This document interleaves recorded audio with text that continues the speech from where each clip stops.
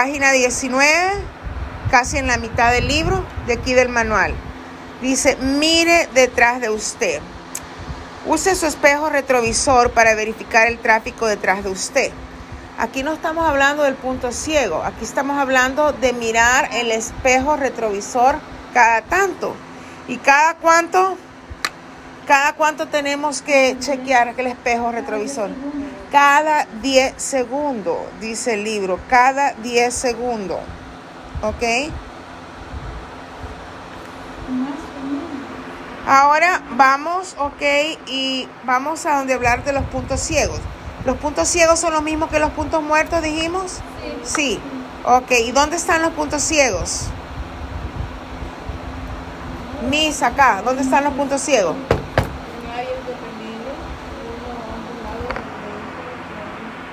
¿Y cómo se corrigen? Se mira rápidamente encima de los hombros. Ok, muy bien.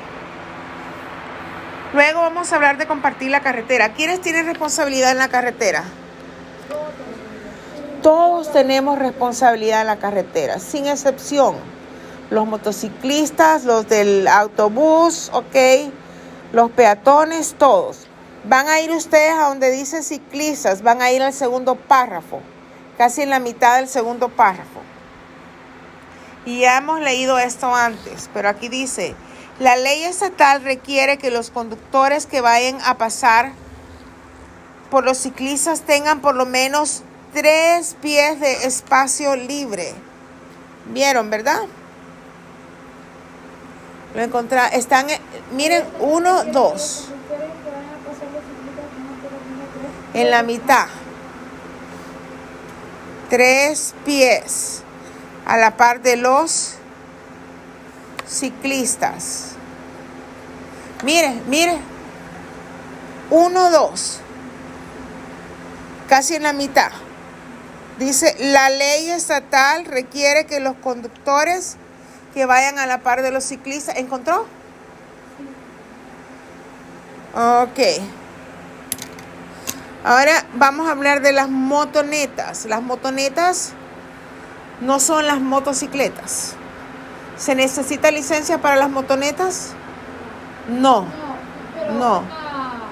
¿Cuántos años hay que tener? 16. Tiene que tener 16 años, ¿ok? Y debe tener una identificación del gobierno, ¿ok? Ahora, ¿cuál es la velocidad máxima de la motoneta? Es 30 millas por hora. La última vez que salió en el DMV fue en el libro de la edición 2013, que es de donde estoy sacando esta copia. ¿Ok? Ahora, la gente no termina de leer esto. Y dice, si usted se encuentra manejando y maneja más de 35 millas por hora, a usted le pueden hacer una infracción de la ley. ¿Estamos de acuerdo?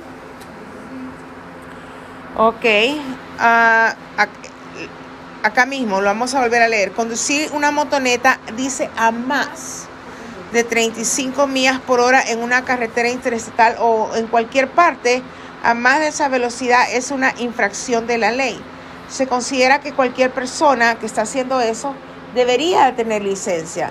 No es especialmente por estar manejando la motoneta, sino porque está manejando a esa velocidad que es 35 millas por hora. Entonces, ¿tengo que tener licencia para eso? Sí, tengo que tener licencia para, si es que voy a estar manejando eso, más de eso. Pero para manejar en sí la motoneta, ¿voy a tener licencia? No, ¿cuántos años tengo que tener?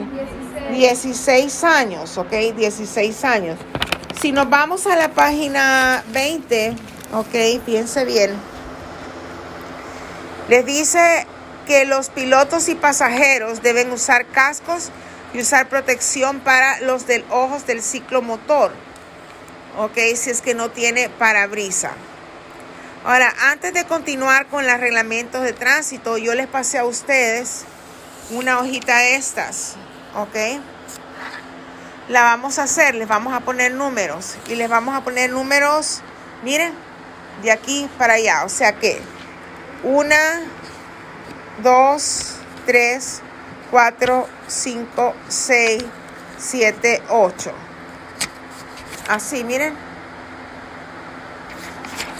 Ok, vamos al 1. Y hago esto para que vean que nos pueden preguntar cómo se llama la figura. La figura número 1, ¿cómo se llama?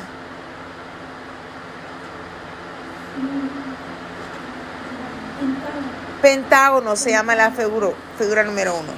La número 2, ¿cómo se llama? Aló, aquí, ¿cómo se llama la número 2? Triángulo, muy bien. La número 3, diamante, diamante. La número 4, círculo. Ahora, este diamante del 5 está pretendiendo ser un diamante de color anaranjado, en las que tengo a colores yo. Entonces, si es un diamante anaranjado, ok, estamos hablando de señales de construcción, zona de trabajo.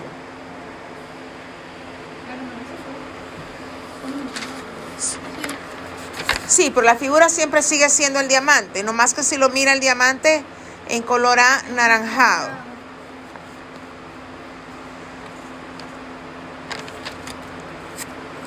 Ok, la 6 es un triángulo entrecortado. Si usted, está si usted mira eso, quiere decir que el vehículo está manejando lento. ¿A menos de cuánto?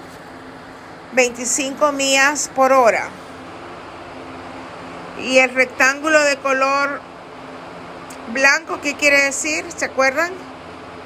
Señales regulatorias. Y el del color verde, guía o dirección.